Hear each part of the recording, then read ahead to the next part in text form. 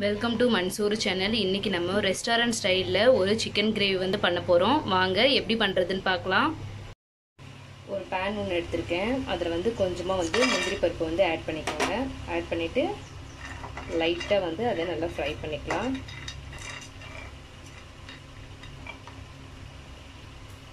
இது கூட நம்ம கிரேவியோட காரத்துக்கு ஏற்ப வந்து நான் வந்து ஒரு எட்டு காஷ்மீரி மிளகாய் எடுத்திருக்கேன். அதையும் வந்து இது கூட சேர்த்து ஃப்ரை பண்ணிக்கலாம்.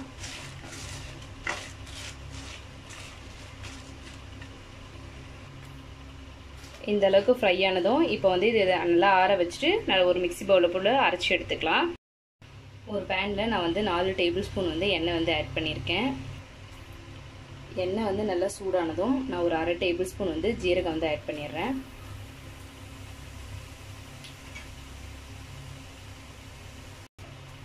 ஜீரகம் வந்து நல்லா பொரிஞ்சதும் நான் ஒரு ரெண்டு டேபிள் ஸ்பூன் அளவுக்கு இஞ்சி பூண்டு வந்து பொடிசாக கட் பண்ணியிருக்கேன். அதையும் வந்து ஆட் பண்ணிக்கலாம்.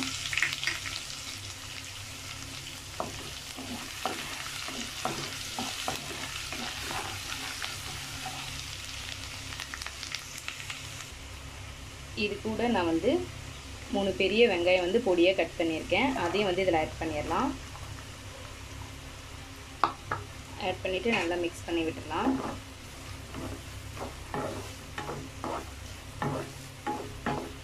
வெங்காயம் வந்து நல்லா ஃப்ரை ஆகட்டும். நம்ம வறுத்து வச்ச இந்த முந்திரி மிளகாயை வந்து நம்ம அரைச்சி எடுத்துக்கலாம். இந்த அளவுக்கு அரைச்சதுக்கப்புறமா இதில் வந்து நான் ஒரு மூணு தக்காளி வந்து ஆட் பண்ணுறேன் இதையும் சேர்த்து அரைச்சி எடுத்துக்கலாம். இந்த மாதிரி பேஸ்ட்டாக அரைச்சி எடுத்துக்கலாம். வெங்காயம் வந்து இந்த அளவுக்கு வதங்கினதுக்கப்புறமா நம்ம அரைச்சி வச்சுருக்கேன் அந்த தக்காளி பேஸ்ட் வந்து இதில் ஆட் பண்ணிடலாம்.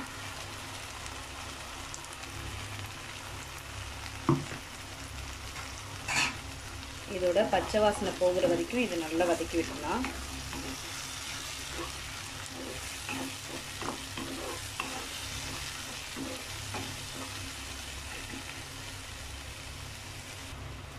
இப்போ இது கூட மசாலா ஐட்டம்லாம் ஆட் பண்ணிடலாம்.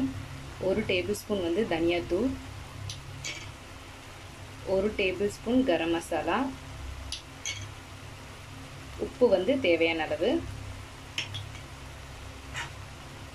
இப்போ இது எல்லாத்தையும் நல்லா மிக்ஸ் பண்ணி விட்டுருங்க.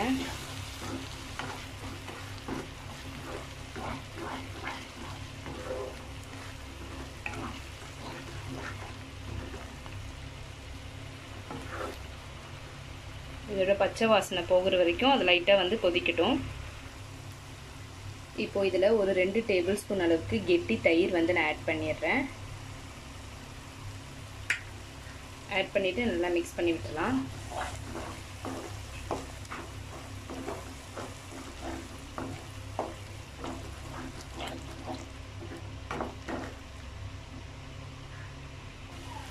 பாருங்கள் எண்ணெய்லாம் நல்லா பிரிஞ்சு வருது. இப்போ வந்து நான் வந்து சிக்கனை வந்து இதில் ஆட் பண்ணிடுறேன். ஆட் பண்ணிவிட்டு நல்லா மிக்ஸ் பண்ணி விட்டுடலாம்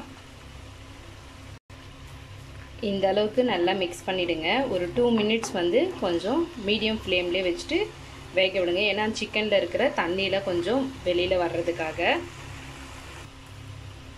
இப்போ இதில் கொஞ்சமாக தண்ணி விட்டு நல்லா கொதிக்க விட்டுடலாம் இது நல்லா மிக்ஸ் பண்ணிக்கோங்க. இது மாதிரி மிக்ஸ் பண்ணிடுங்க. மிக்ஸ் பண்ணிவிட்டு ஒரு மூடி போட்டு மீடியம் ஃப்ளேமில் ஒரு டென் மினிட்ஸ் அப்படியே வந்து நல்லா கொதிக்க விடுங்க.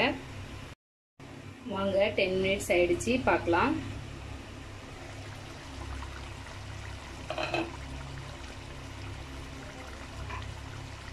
பாருங்கள் நல்லா வந்து திக்காக வந்திருக்கு.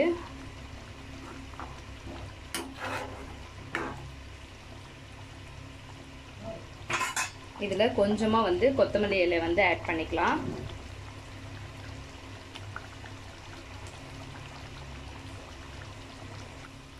நம்ம இந்த ஸ்டேஜில் அடுப்பை வந்து ஆஃப் பண்ணிடலாம். பாருங்கள் சூப்பரான ஒரு சிக்கன் கிரேவி வந்து ரெடி ஆகிடுச்சு இந்த ரெசிபி நீங்களும் உங்கள் வீட்டில் ட்ரை பண்ணி பாருங்கள் ட்ரை பண்ணி பார்த்துட்டு எப்படி இருக்குன்னு கமெண்ட் பண்ணுங்கள் உங்கள் ஃப்ரெண்ட்ஸ்க்கு ஷேர் பண்ணுங்கள் சப்ஸ்கிரைப் பண்ண மறந்துடாதீங்க. தேங்க்யூ